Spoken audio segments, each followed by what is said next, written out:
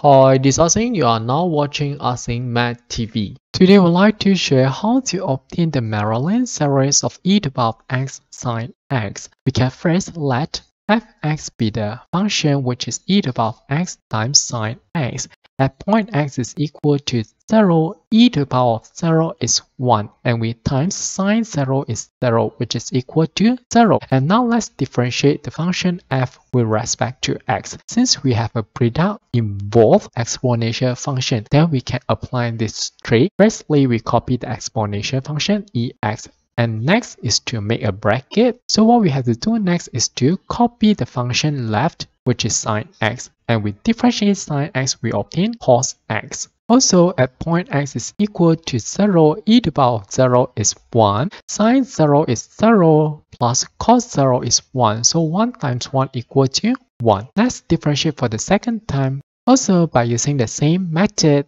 we have ex bracket copy the function sine x plus cos x and now differentiate sine we have positive cos differentiate cos we have negative sine Let's simplify. We should obtain e to the power of x sine x minus with sine x, so no more, and we have cos x plus cos x, which is 2 cos x. So at point x is equal to 0, we have 1 times 2 times 1, which is equal to 2. Differentiate for the third time with respect to x. Also copy the function ex and now copy the rest 2 cos x and differentiate we should obtain minus 2 sine x. At point x is equal to 0 we should have 2 as well. Let's differentiate the function with respect to x for the fourth time. Also copy the exponential function and copy the rest of the function to cos x minus 2 sine x. And now let's differentiate. Differentiate 2 cos x is minus 2 sine x. Differentiate minus 2 sine x is minus 2 cos x.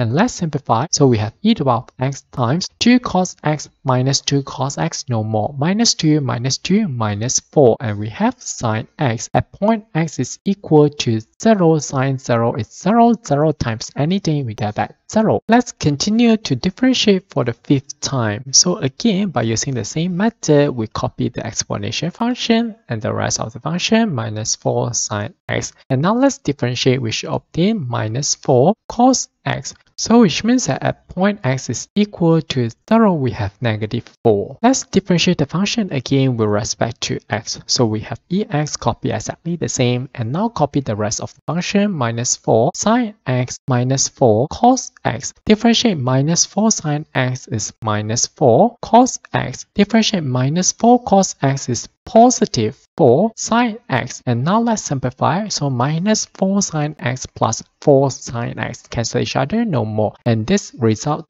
ex times minus 8 cos x, which means that at point x is equal to 0, we have negative 8. Since I have obtained 1, 2, 3, 4, 5 non-zero terms, so I'm going to stop here and form the Maclaurin series, unless the question stated otherwise. So we have e to the power of x sine x.